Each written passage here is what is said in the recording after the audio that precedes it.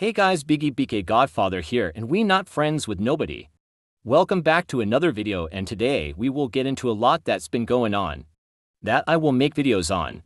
Such as D Thang's new song, Smoochy Valentine. We will mostly get into the incident of D Thang.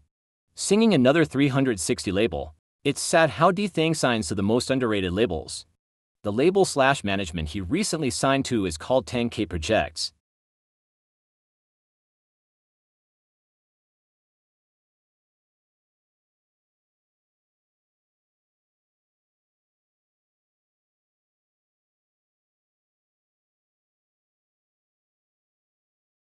Not only D Thang but French Montana is co-signing, with that other 360 gumbo thing.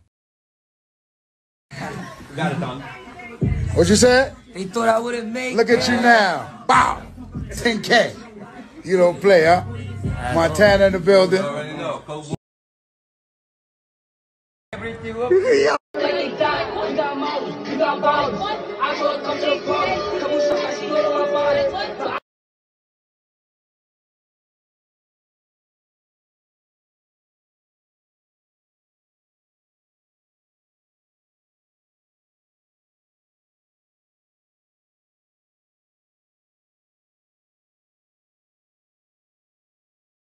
As you see on your screen, D Thang signing the label or management. Whatever it is to 10K projects, let's see what other 360 label he signs that really is not known by most of the rappers we're here, such as Ice Spice Drake Thing, but let's see because he's been signing a lot of labels lately or managements or something I don't. No, it's cause I'm very uneducated when it comes to this stuff. But let's see.